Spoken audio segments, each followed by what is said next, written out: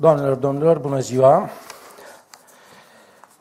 Ne-am propus să aducem uh, la cunoștința dumneavoastră și parte din informațiile pe care deja le aveți, dar să și completăm o parte uh, din ele, anticipând uh, întrebările dumneavoastră. Așadar, o să fiu extrem de succint.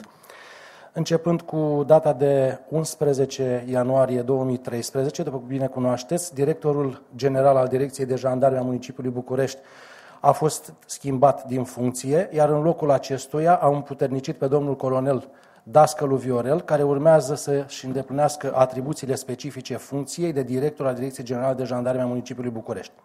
De asemenea, în cursul aceleiași zile, de 11, domnul uh, ministru al afacerilor interne, Radu Stroie, a dispus efectuarea unor cercetări interne referitor la împrejurările agresiunii petrecute asupra lui Șandru Ionuț cu ocazia manifestațiilor de la începutul anului 2012.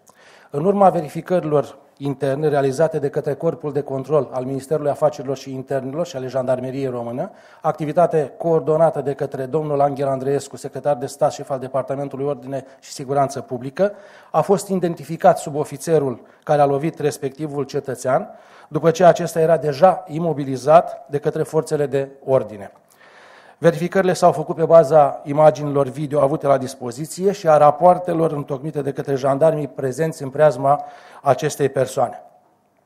Pe timpul verificărilor, subofițerul și-a recunoscut fapta, acesta fiind susceptibil de săvârșirea infracțiunii de purtare abuzivă, faptă prevăzută de articolul 250 Cod Penal, context în care în cursul acestei zile materialul rezultat din verificări urmează să fie înaintat la parchetul militar de pe lângă Curtea de Apel, unitate care este competentă în cercetarea și soluționarea cauzei.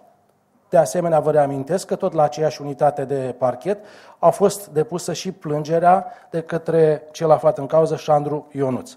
În momentul în care parchetul militar ne va comunica că a fost pusă în mișcare acțiunea penală, militarul va fi pus la dispoziție și se vor întreprinde măsurile legale. De asemenea, vom aștepta ca unitatea de parchet să se pronunțe asupra soluției finale. Dacă aveți întrebări, două întrebări, vă rog. Domnul colonel Costin Angel, domnul TV, pe domnul Meran, uh, de ce a fost demis? Care este motivul pentru care a fost demis? Domnul general Meran a fost comandantul misiunii din acea perioadă. El a condus toate activitățile din acea perioadă și este direct responsabil pentru modul în care a organizat și coordonat activitățile respective. Îi se reproșează că nu a acționat la timp în primele două zile sau că a acționat abia din a treia? Se reproșează modul defectuos în care a organizat și condus activitățile. Să înțelegem că deocamdată jandarmul rămâne în serviciu?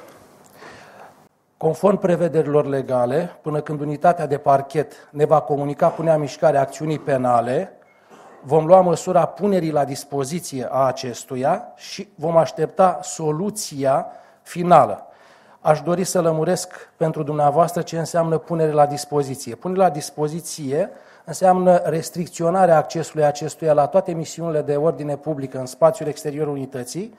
De asemenea, îi se retrage armamentul și muniția, iar comandantul unității îi stabilește sarcini și funcțiuni specifice acestui interval în care se cantonează. A trecut un an de la evenimentele din piața universității, de ce se iau măsuri uh, tocmai acum și dacă jandarmul care a fost identificat a mai fost implicat în astfel de scandaluri, dacă a mai avut și alte abateri? Aș începe cu ultima parte. Din cercetările făcute de noi, militarul nu a mai făcut și nu are înregistrate alte abateri. Uh, toată această cercetare a continuat pe parcursul anului întreg. Eu sunt comandant al jandarmeriei de doar trei luni de zile, cunosc despre existența procesului penal aflat pe rol la parchetul militar, iar în această situație, în urma cercetărilor pe care le face, urmează să oferim un nou caz, iar instanța, uh, unitatea de uh, parchet să se pronunțe.